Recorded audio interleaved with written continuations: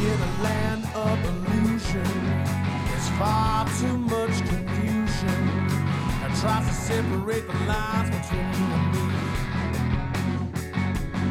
Well, it's really quite a show on every TV and radio. Rocky